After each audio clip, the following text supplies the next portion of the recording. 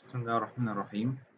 إن شاء الله هنبدأ في أول حلقة من إيجاد ال roots عن طريق ال numerical solution باستخدام ال bisection method.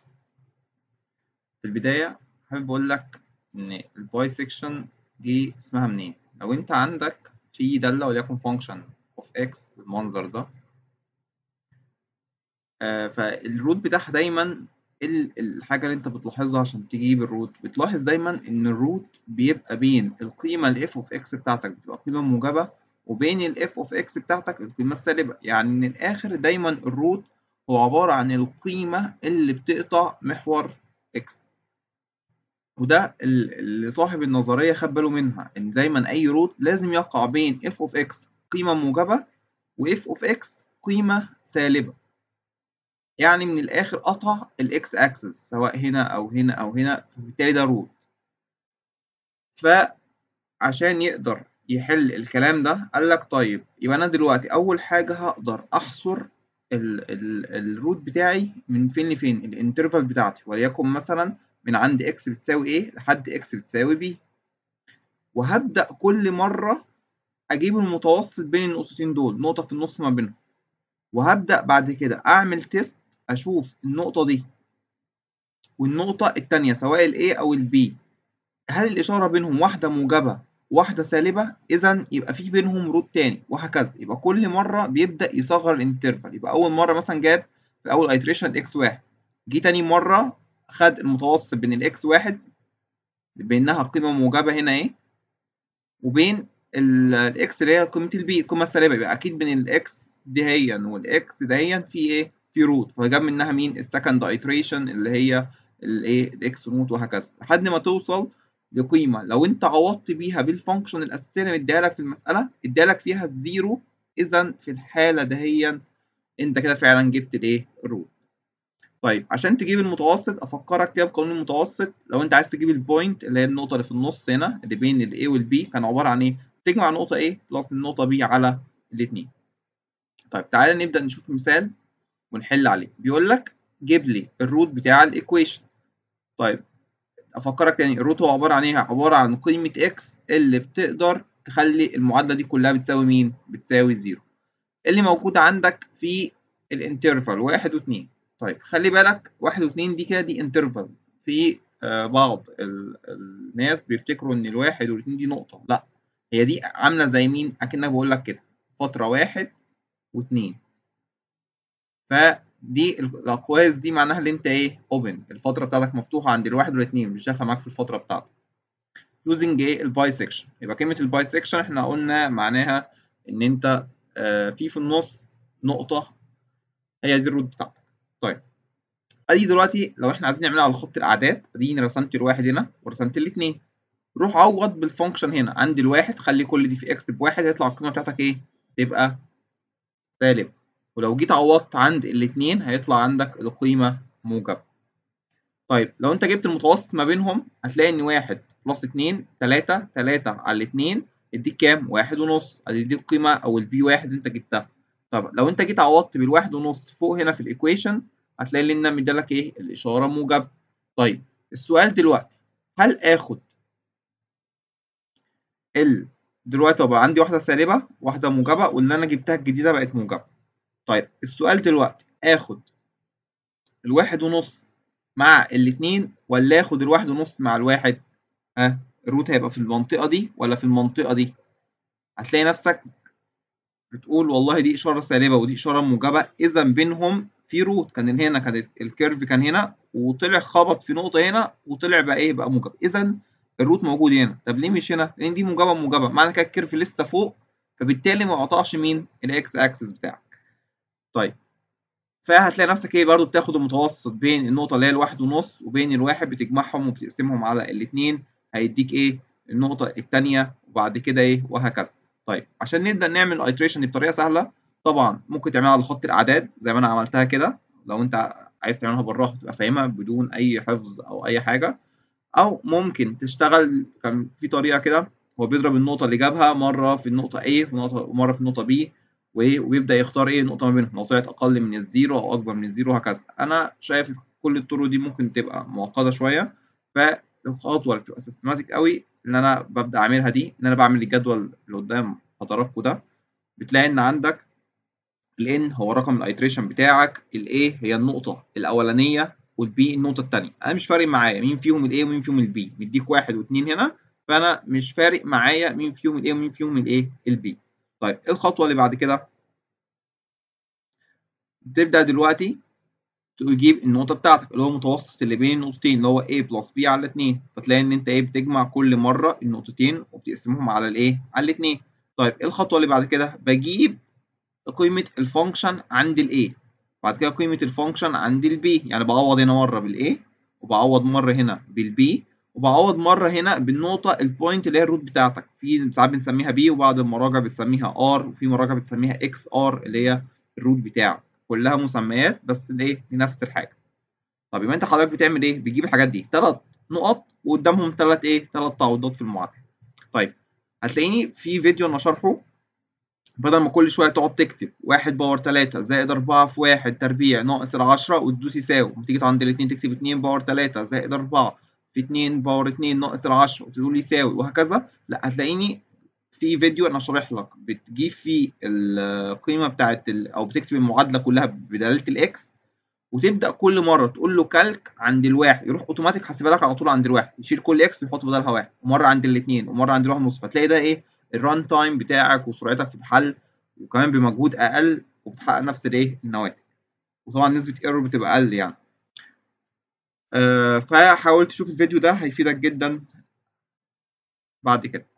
طيب نسترجع تاني الخطوة بتاعنا. هو مديلك هنا عند ال number of iteration بتاعتك. iteration رقم زيرو كان عندك الواحد والاثنين ده كان given بالنسبة لك. أحسب ال P بتاعتي هي واحد ونص. طيب أجيب لو ما تيجي تعوض هنا عند النقطة عند الواحد هيديك هنا سالب. لما تيجي تعوض هنا عند الاثنين هيديك هنا الإشارة بتاعة الـ f بموجب. أنت مش مضطر تكتب الرقم. أنا بس عايز أعرف الإشارة سالبة أو موجبة. لما تيجي تعوض بالنقطة بتاعتك اللي هي الواحد ونص هديك الإشارة موجبة. طيب السؤال دلوقتي. كده كده أنا هاخد الـ f of B كده كده أنا هبقى دي هتبقى معايا. بس لازم هتستبدل واحدة من الاثنين دول. يا إما هستبدل نقطة A يا إما هستبدل نقطة B. تمام؟ طيب دلوقتي الـ B دهيا هتخش محل مين؟ هتلاقي دلوقتي دي سالب وموجب ودي طلعت موجبة. يبقى الموجب يبقى الـ root بتاعي هيبقى بين الموجب والموجب ولا الموجب والسالب؟ سامعك. بالظبط كده. زي ما انت قلت فبقى من السالب والموجب. لازم إشارتين مختلفين. يبقى اذا الـ f of A هتنزل زي ما هي والـ B دهيا. هبدأ أكنسلها وأدخل إشارة مين؟ الـ f of B نفس اللي أنا عملته هنا. أنت دلوقتي أنا دخلت الـ function دهيت فبالتالي النقطة بتاعتها لازم تنزل معاها. فبالتالي نقطة الـ B هتحل مكان الـ B دهيا والـ A دي هتنزل زي ما هي. كده دي أول iteration هتلاقي نفسك الواحد نزل زي ما هو أنت أصلا كنت جايبه قبل كده بسالب مش مضطر تحسبه تاني. هتلاقي الـ B دهيا نزلتها لها واحد ونص وأنت كده كده نزلتها هنا برضو بقت بإيه؟ بموجب فمش مضطر تحسبها طيب أبدأ أحسب النقطة الجديدة بتاعتي. يعني أنت هنا كل اللي أنت حسبته هو مين؟ هو أنت حسبت الرقم ده. جبته إزاي؟ هو عبارة عن الواحد زائد واحد ونص على الاتنين هيديك واحد وربع. طيب إشارة الواحد وربع دي طبعا ده إيه given معايا من اللي فات وده given معايا من اللي فوق. هيديك اشارته بكام؟ سالب. جبتها إزاي؟ عوضت في في الـ function دي طلعت بكام؟ بسالب طيب حاليا دلوقتي السالب دهيا. هبدا أخدها مع الموجب ولا أخدها مع السالب اللي زيها هتقولي لا إشارة سالبة لازم أخدها مع الموجب. اذا السالب ده هتخش.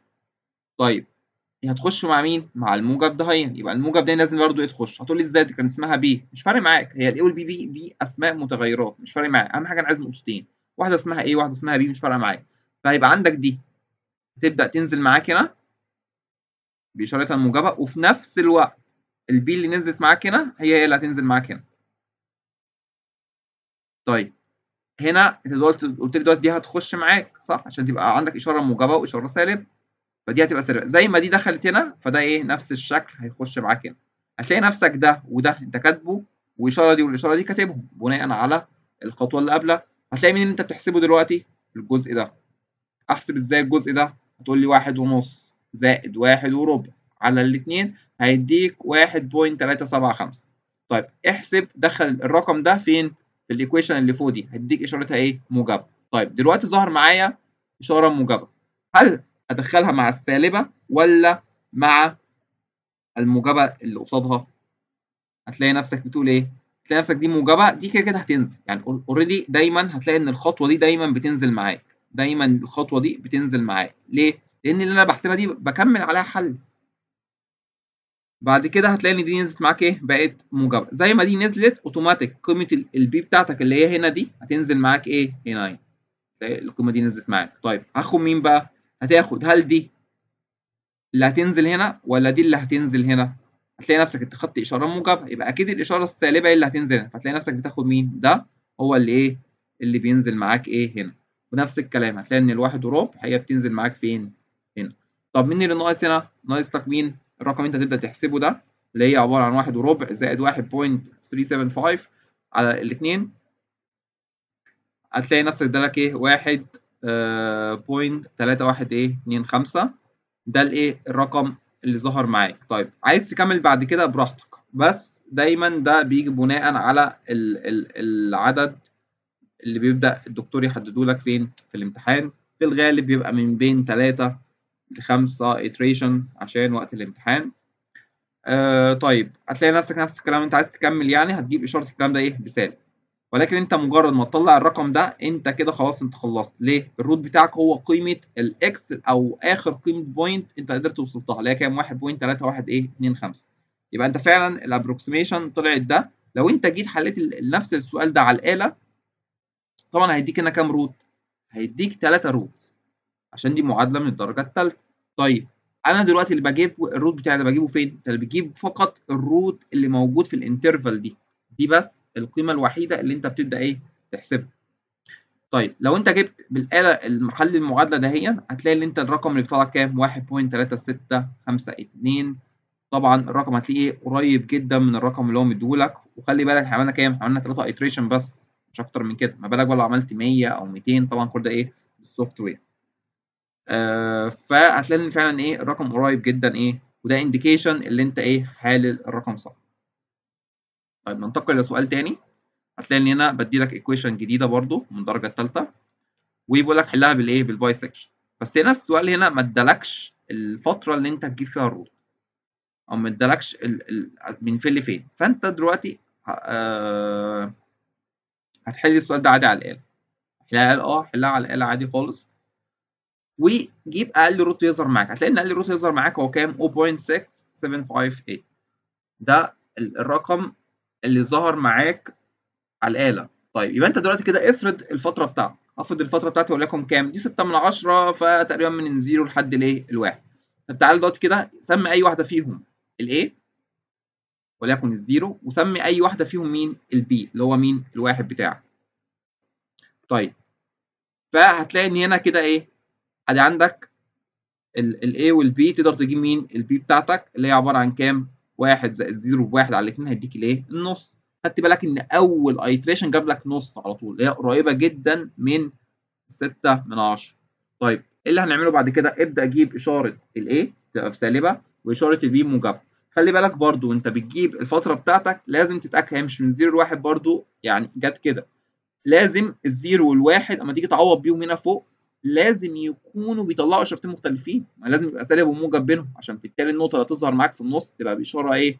بينهم هما الاثنين فما ينفعش تاخد مثلا يبقى الـ zero بيطلع لك موجب وال... والواحد بيطلع لك موجب برضه. فبالتالي موجب وموجب ده ما قطعش مين؟ ما قطعش الايه الاكس اكسس بتاعك. فغالبا هتلاقي إن أنت لو ظهر عندك root بالآلة في النص غالبا خد رقم قبله ورقم بعده. غالبا الرقمين دول هتلاقي إيه؟ في فرق بينهم في الإشارات يعني. طيب وفي الغالب أكتر إن هو هتلاقي إن الدكتور أصلا بيدي لك الفترة عشان كلكم توحدوا الحل بتاعكم. ولكن هو لو عايز يعتمد على الفهم بتاعك فممكن يسيبك. طيب أول نقطة يا شباب هتلاقي إن هو مدي لك هنا إدالك نص إشارتها بسالبه طيب السالبة دلوقتي دي إشارة سالبة. فدي كده كده هتنزل هنا فبالتالي برضو دي هتنزل هنا. زي ما بعمل حركه هنا ميرور زيها الناحية الثانية طيب أبدأ اخد مين؟ هل السالب هي اللي تنزل ولا الموجب هي اللي تنزل؟ قلت له والله دي سالبة يبقى أكيد النقطة الثانية هي مين الموجب؟ بعيدا بقى اسمها A أو B مش فارقه وفي الآخر نقطتين بجيب المتوسط ما بينهم. انسى فكرة ال A وال B دي. طيب نفس الكلام زي ما أنت هنا نزلت النقطة دي كده فأنت دي إيه؟ هتنزل معاك كده يبقى دلوقتي مين؟ أدي واحد وأدي النص وإشارتهم كده كده جاية من الايه من الخطوة اللي بعدها. طب ناقص مين؟ ناقص الرقم ده والإشارة بتاعته تلاقي الرقم ده بجيبه إزاي؟ بجمع الواحد والنص اللي هي واحد ونص على الاتنين هيديك كام؟ 75 من 100 جي حط عوض دي هنا فوق تلاقي ده بيدي لك إيه؟ إشارة موجبه طيب نفس الكلام دي إشارة موجبه دي كده هتنزل. طب آخد مين؟ هل السالبة اللي هتنزل ولا الموجبه اللي هتنزل؟ لا هاخد مين؟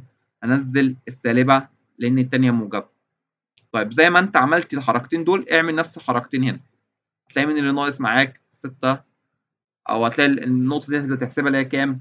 0.625 هتبدا تحسبها. عوض بيها فوق هنا. هتلاقي بيديلك كام؟ مديلك سالب. طب انهي نقطة فيهم اللي هتنزل يا شباب هتلاقي ان انت السالبة لازم تاخدها وهتاخد الموجبه اللي هي إيه؟ المضاده ليها هنا. ابدأ احسب كمان نقطة ال البي بتاعتك. هتلاقي ان انت إيه؟ طلع معاك إيه؟ بحوالي كام؟ 68 من 100 وانت أصلا الحل اللي انت جايبه بالآلة هو كام؟ 67 من 100 طبعا هيبقى فيه تقريبات بعد كده. هتلاقي نفسك الايه إن إيه الرقم قريب جدا للرقم ال exact بتاعك. فدي خطوة من 10 في ناس ممكن يقول لك لا أنا هاخد الفترة بتاعتي من نص لواحد طبعا ده عدد ال iteration بتاعه هتبقى إيه أقل وهيديك إيه دقة أعلى. كل ما انت بتقرب له النقطة فأنت إيه كل ما أنت إيه بت بيكون الرقم بتاعك إيه بيوصل أسرع لإيه ب iteration أقل. في النهاية أتمنى يا رب يكون الشرح مفيد. لو استفدت ما تنساش تدعي لي دعوة حلوة. شكرا.